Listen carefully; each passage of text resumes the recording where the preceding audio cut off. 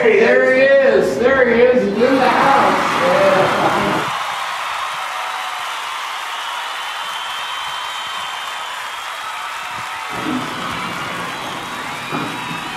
Are you working? I know you're on the clock, right? Oh, yeah. Good. Okay. Every uh, time I walk through the door, I'm on the clock. You're on the clock, good. Well, we'll go ahead and uh, get ready and, and do whatever we want to do. Uh, good- and that's part of my shtick too, you know, like you. I'd be blind if I was. Well, I'm about there, but I've been taking my vitamins, so hopefully it's been doing pretty good. Okay, you got some pretty good shots here? Right here. Hey, this is the guy. Mike, get in the picture, man. You got to take credit for this. Right here's my buddy Mike Martin, and, and you're taking some shots right there, some of the really cool posters, and uh, we're inside here, the uh, the Bluestone. Is the Bluestone something, or is it just plain Bluestone nightclub, or what? Yeah, it's just the Bluestone. It's just the Bluestone? Okay, well, we got that right. Cool. And uh, Mike's going to go around. Okay, why don't you go ahead? Come on, photographer. And, and she's like, me, not professional. Hey, hey, um, let's go ahead and Mike's going to give us a tour here at the Bluestone. And so we'll kind of check things out. They got a big uh, going on tonight. You got, the, what was that you were telling me We about? got Aaron Buckley tonight for our first uh, monthly locals jam. Yeah. So, you know, free show, cold beer. Oh, wow. Craziness. Cool. you know Well, how it hell, is. free. Free some Yeah, too bad it's not free beer. yeah. all right. So let, us go ahead and have Mike uh, show us around here at the Bluestone. Okay. Okay, we'll just follow you. Yeah, we can check out the main room. Yeah. This is a really cool place. This used to be a church, right? Yeah, it was a church up until ooh, 20, 30 years ago, I think. Yeah. And then um, a group of guys took over and um, renovated it into a nightclub. Yeah. So, you know, and now we get to sing every time we're in here. Yeah. And you're a big part of the overall operations now. Because are you like what the promotion department? Or I'm the creative director. I You're creative director, okay. everything that what comes out of here and what makes it the, the what gives us the look. Yeah. Plus gallery director that keeps you know all the stuff on the walls and Yeah. you know try to juggle you know anywhere from 10 to 20 artists at a time you know to keep the walls full. So Oh wow, cool. Well, let's go ahead. Let's walk on down there. Get some uh, good shots of the uh,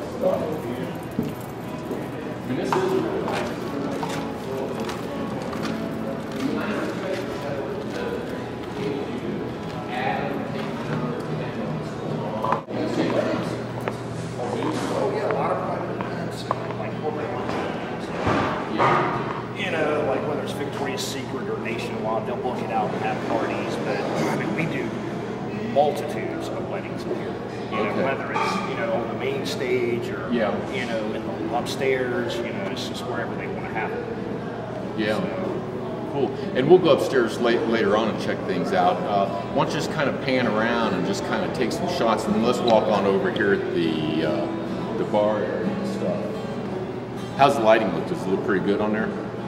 Does it? Okay, cool. Yeah, let's let's go on up there because that'd be a pretty cool, uh, pretty cool shot. Like I said, when she's shooting the video and stuff, you know, the, I might cut stuff here and there.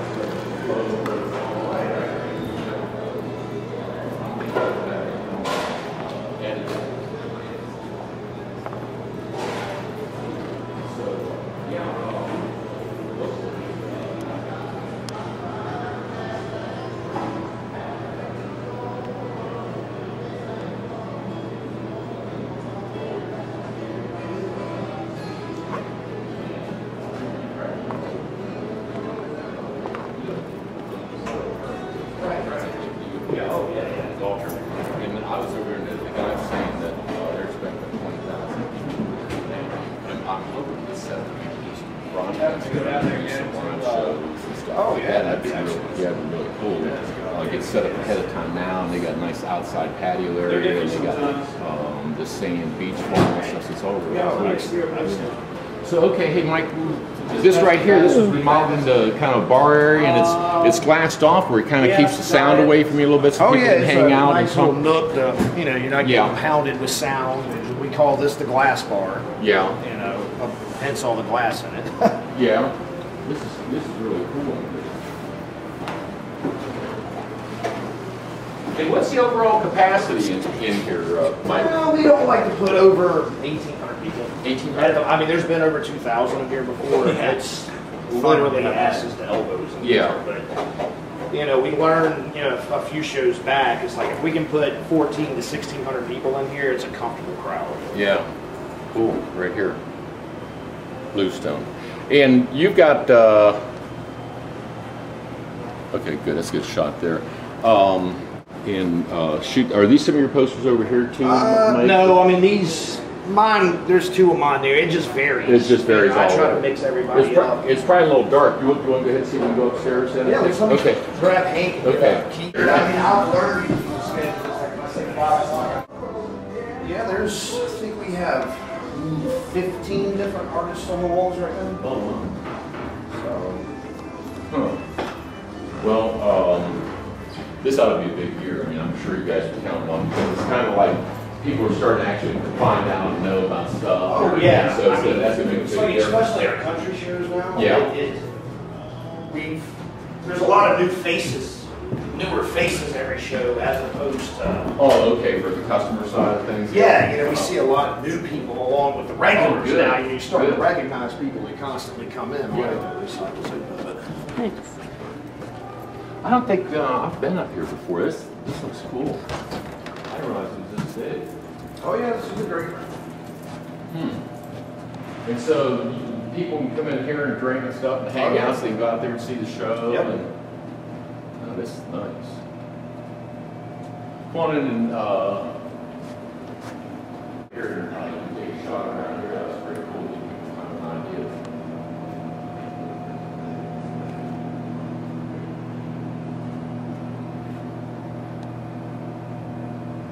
Now, how did you stumble into this job? You, like, did they recruit you or something, or did you know yeah, that they a, really put, put in an oddball way. I mean, I used to. Um, there used to be another guy involved here, which it just didn't work out with him and the owner group. Uh-huh. But I had done work with him. He had actually found me through this book that's out called um, the art. Well, not the art of rock, which is the first volume, but the art of modern rock.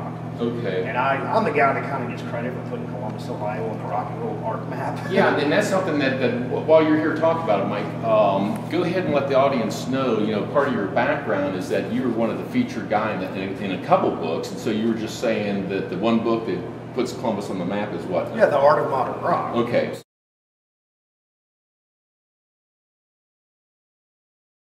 He found me in that book, just, you know, reached out, you know, started collecting my stuff. He was a collector of posters to begin with. Yeah. And then the next thing I know, it was just one day out of the blue, he's like, dude, we're taking over this place and I want you to be a part of it. Let's put a rock and roll art gallery together. You know, if you think you can make it happen. And Yeah. this is what it turned into. Right, and and giving people a little bit of an idea on your background and everything. You're actually from what, South Carolina? Yep, originally from Myrtle Beach. Well, uh, You know what? The, the, you get things backwards. You're supposed to go from Columbus down there, not from Myrtle Beach. I know, I know. Everybody says that, but I don't even miss it. I love Central Ohio. Yeah. You know, it's got everything I want to do up here. so. Yeah, well, it's really diverse and stuff like that. And so you've kind of now, you've come up here and you've got your roots up here and you kind of like helped put Columbus on the map in a lot of different ways. And when I first met you about, I don't know how many years ago, was that on the first book or was that on the second? That was book? that was on the Art of Modern Rock. That's the second big book that Paul Grushkin did. Okay. So that's the one that kind of, I guess, reignited the flame for rock posters. You know, Yeah. You know, brought it back into the mainstream eye. Yeah. So you know, and since then there's been you know documentaries and everything else. Well, let them, let them know about that because probably a lot of people like myself, I didn't even know about the documentary, Yeah, but there, there has been a pretty cool documentary Oh, yeah. made just on the, rock and art roll posters. So, yeah. you know, it's called um, American Artifact, and a friend of mine, Merle Becker, she um, she did it, and she actually traveled the country to come to all of our studios that are in it to, you know, film there. And, you know, it's been all over Europe and, um, you know, the U.S. since it came Yeah. out a few years ago. And actually, think in May it's going to make its debut in Russia. Oh, really? Which is Wow. like, okay, that's kind of odd, but, Yeah. you know, wherever. Well, you know, everything's worldwide now. I mean, with, Yeah. with the web, I mean, everything's online and Right. everything's, you know, Right. uh, a worldwide basis and stuff. Yeah, here. Keith. Uh, so that's really cool uh, having that documentary. And so uh, you've ga- gained a lot of fame and notoriety and stuff. Has it made you any money? Because lots of you know. I, you know, and I every if, when I lecture and, and do all this stuff at colleges or whatnot, or Yeah. you know, guys want to get into it. You know, the first thing I tell them is like, do not get in this line of work for money. Yeah. It's like if your heart's not into it, Yeah. you don't love, you know, rock and roll and Yeah. music. You're not, you can't do it for money. Yeah. I mean, now granted, I'm one of the lucky few that Yes. I make a living. doing Yes. You know, and so there's that, but you know, still, it's not like you know I can go buy a Maserati tomorrow if I want Yeah, to. yeah. So, Well, well, one of the things that I think, and I'll throw this out uh, at you because uh, it's been my experience now, you know, talking to a lot of different musicians, you know, whether it's uh, current guys or older guys or whatever, they all say now that they have to make their money going out touring and doing stuff to promote them on a live basis because they Yep. can't sell the records and they can't sell the albums. So I would say that really brings a guy like you into play because it's all about promoting these guys when they're out Yeah, there and getting absolutely. people to turn out. It's a lot of it. I mean, well, you, I mean, kind of from the same, you know, background. I mean, we Yeah. grew up on, you know, 12 by 12 pieces of art that had vinyl stuff. That's right. The sleeves. And, you know, that got phased out and went into the little 5 by 5 CD format. Now that's been phased out and everything's on a tiny little iPod screen. Yeah. So, I mean, not like the, you know, a lot of us like to think that, you know, with the medium we work in, we're almost kind of filling that, you know, taking it back to the album cover days. you know, Right. It's, it's something that, you know, people want. Yeah. You know, and you can act, it's tangible. It's not a little digital image Right. on a, you know, material piece of junk phone or something. Yeah. So- Well, well, well, getting back to that, um, do the artists a lot of times reach out to you, or have you had artists say, "Hey, Mike, you know, we're putting a new album together, and we want you to design the cover"? Who, who's some of the, the groups that Well, I mean, album covers, a lot of that stuff, it's like, it's really, you know, it's hit or miss with that. I mean, Yeah. sometimes I do them and sometimes I don't. I like, when I do do album cover work, I like to keep it like in the genre that I grew up in, which is kind of like rockabilly and punk rock and all that, the greaser culture. But, you know, bands, I mean, they reach out all the time for poster. I Yeah. mean, it's, you know, because they know that that's really the thing that really helps push and Well, drive. yeah, and people can relate to it. They see that, and so visual. You don't have to say Yeah, anything. they you just lay them on their merch table when they're playing, and they, you know they're just selling them up hand over fist. Yeah. You know, especially for you know like one of the best bands I work with is um, 311, Yeah. and it's just amazing to see how their fan base is about anything. Oh, really? You know, and it's gotten to the point now. I mean, you know, I can. You know, I always go to the shows I work for, you know, or try to anyway. And it's like Uh-huh. people are just as excited to meet me because Yeah. I'm the poster guy for Yeah. them. you know, and it's just kind of like, wow. Uh, I'm just an artist, you know. Does that get does that get you any extra brownies at home or anything? No, no, no. They, I don't. The kids still don't haven't figured it out.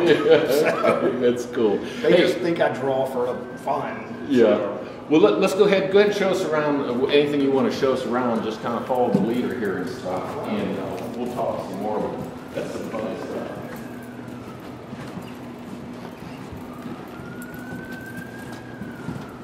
okay, here's the wall. This Yeah. always a great place. Oh If you could find a spot. If you can find a spot, it probably goes up quick.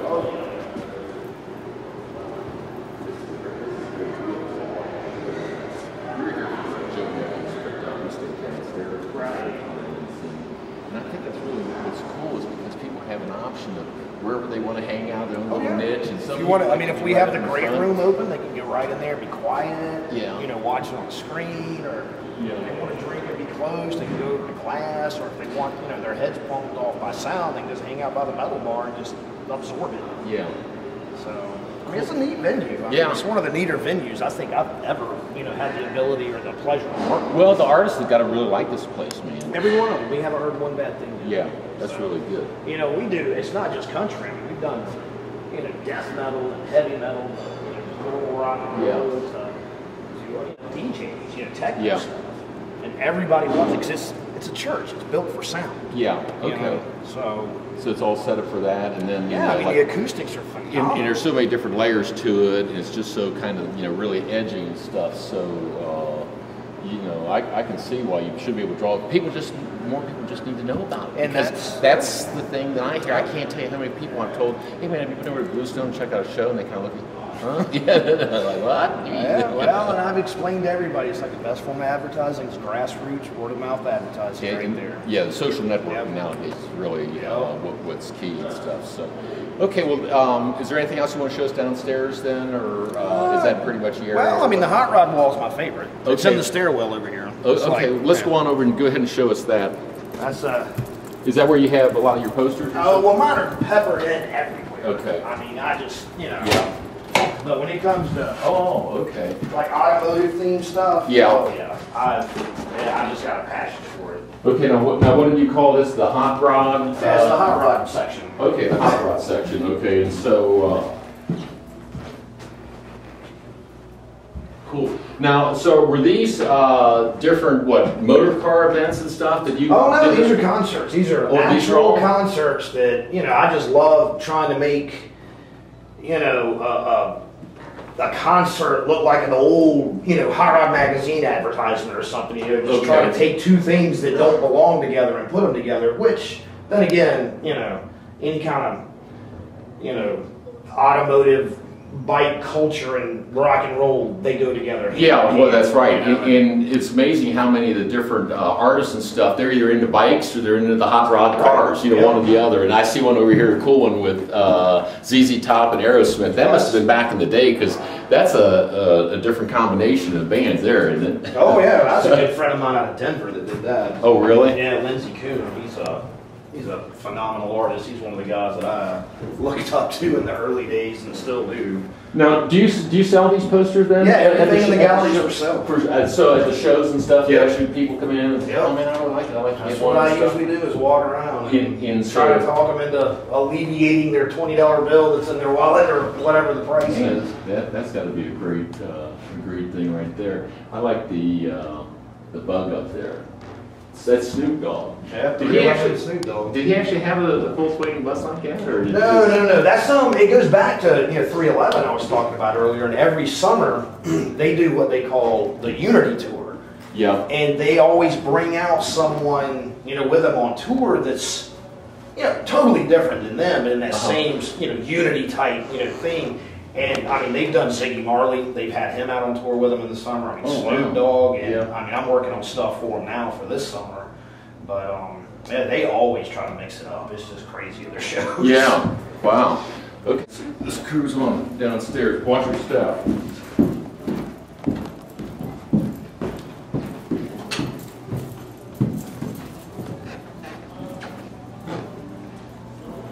Let's see, uh, where the lighting can be, uh, How's the, how's the lighting look Mike in here? Is it a little dark or, well, you know, we ought to go out to the uh, patio area. loud out Is it, is it loud? Well, the yeah. DJ's yeah. got his thing. Yeah, you're right, you're right. Um, so let's kind of finish uh, wrapping up in, in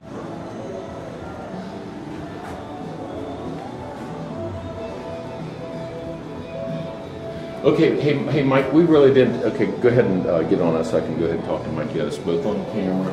Um, so why don't you go ahead and let the people know then a little bit about your, um, is it our art station or whatever, Engine House 13, what's, what's that all about, and how did you come up with that name? oh Lord Engine House it's just my my home That's it, put you on the spot. Yeah. it's just my studio name. Yeah. And um, you know, being a guy that you know loves you know anything gasoline powered. You know, Yeah. Hence the engine. Yeah. I live in a house. Okay. Engine house, and the number thirteen. Well, the thirteenth letter of the alphabet's an M. I'm Mike Martin, so it just kind of oh, fit Oh, together. wow. So, That's and cool plus it's really tight, easy to type on a keyboard. So, okay, so that's that's what's all that, and and so now Does it is it Engine House 13 that gets notoriety, or is it just Mike Martin, the artist? At this point, I mean, I've had Engine House 13 as a studio since I moved to Ohio back in 2000. Okay. And at this point, it's kind of synonymous. Oh. synonymous. I mean, if they if, if someone says Engine House 13, you know, They know. that's into the culture of rock posters. They know who did it. They- they you know. know. But if, a lot of times I'll meet someone and they'll be like, "Oh, you're the Engine House 13 dude." Yeah. That's me. My name's Mike. You gotta call me the Engine House 13 guy. and we're, we're, we're not related, but we do share a la- last. Yep. Well, as far as we know, I don't know. If somebody goes back and checks a tree, I don't know. Who knows? we won't even we won't go there.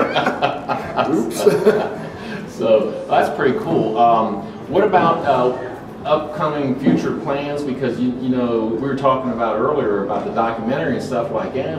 I mean that was two or three years ago. So I mean it might be time for somebody else to come out and do something new. And they do. I mean, it's it's like the world of rock posters is kind of you know it, it has its peaks and its lows, and it's Okay. it's kind of you know I feel like it's starting to get back, build back up to something in the next year or two or three or something. But it, Okay. it comes and goes. I mean, at this point, there's like so many young people that think that you know they're just going to make a fortune doing this, or you know they're doing it for the wrong reasons, like padding their portfolios to get a better job. Yeah. So the market's like extremely flooded. Yeah. You know, and a lot of it. I mean, I only do one of two ways. I'll either do screen prints Okay. or just crappy old punk rock style Xeroxes. Okay. You know, there's really, I mean, I do digital work, but I'm not going to sign them. I'm not going to number them. You know, I just don't do that. I mean, it's uh-huh. one or two ways for me, but there's a lot of stuff out there now that's straight up digital work.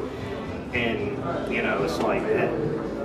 Digital stuff goes away. Yeah. You know, a screen Yeah. print's around for a long, long Okay. time. So, Okay. you know, I've got stuff that, you know, it's 30 years old and I've never worked with it. And I don't even care for the bands. It's just Right. a screen print and I like the art. Yeah. So, Wow. Hey, you know what? Um, I don't know. You've probably been out there before, but uh, have you um, gone out? Are you making plans for this year's Rock on the Range? Because they've got a pretty uh, cool lineup. It looks like. yeah, we were we're thinking about going for the as they're trying to bill it the metal day, but I just don't know. At this point, when I get downtime, if if, if I don't have to go to a concert, Yeah. I'm usually trying to hit the woods, go fishing, pitch a tent, and just disappear for a few Yeah. days. You know, Okay. Go back to your South Carolina roots. Yeah, kind of. You know, we've got a place about two hours outside of the city. You know, me and the girl and the dog, and we're just gone. you Oh, know, really? So, but you know, I mean, we still hit concerts. I mean, you know, Yeah. it doesn't matter, you know, if it's metal or country or whatever. As long as it's good, it's good. Good. Okay. Well, listen. Hey, man. Thank thank you very much for the time today, and uh, we're gonna go around and do, shoot some other stuff and Yeah. talk some more. But for right now, another episode riding away with Dave and Engine House 13, Mike Martin. Thank you guys. Cool. Good. Okay.